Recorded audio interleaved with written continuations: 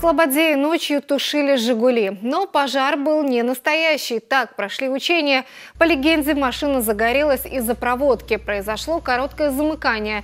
Рядом заправка, угроза взрыва. На место выехал пожарный расчет. Работали в специальных теплоотражающих костюмах. Справились за 4 минуты. Тушили машину сегодня ночью и в Дубасарах, но уже по-настоящему. Там загорелся «Лексус».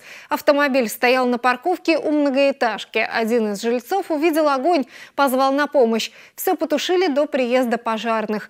У «Лексуса» обгорел задний бампер и багажник. В причинах разбираются.